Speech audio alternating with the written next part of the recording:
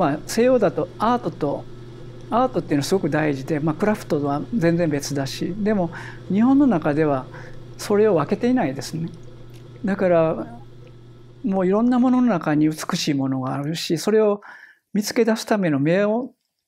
目を養って目を作っていくっていうことが大事。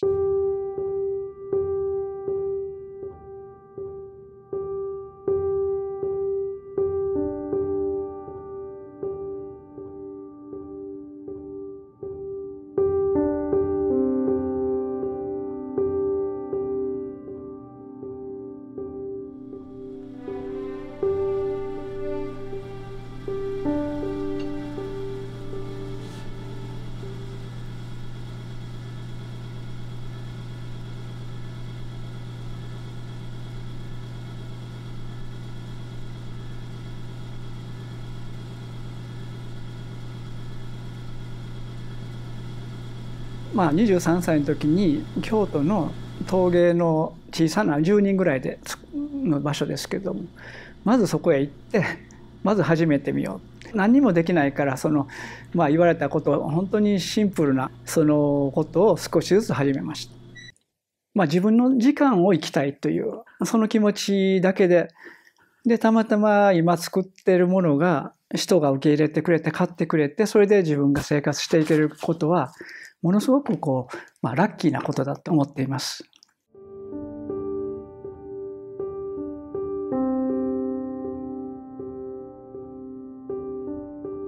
えー、私の作るのは主に、えー、人が使うための器ですね。まあ、それを作っています。で僕にとって一番大事なプロセスはやっぱりその絵を描くことですね。そのでそこではそのやっぱりあの練習は一切しませんね。もう目の前にしてそこで始めます。その時にその線とあ、まあ、線のリズムですね点とかリズムとそれからバランスがものすごく大事なことです。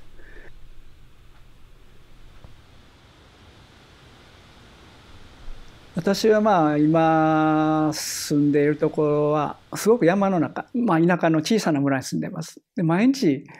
歩いていく中で木があり草があり、まあ、動物もいるし面白いと思ったものをなんか記憶してます。何かを書かないといけない時に、まあ、そういうそういうものが違う形になって出てくるんですね。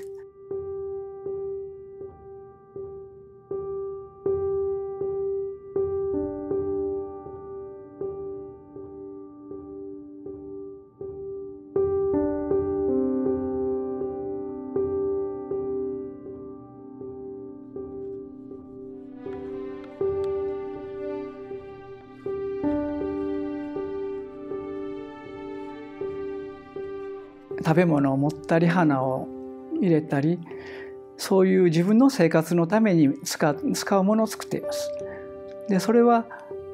自分の、まあ、人の生活の中に何かその自分と近しい自分が好きなものを持ってほしいっていうそれを使っている人がそのものとの関係を深く持ってくれればいいなと思っています。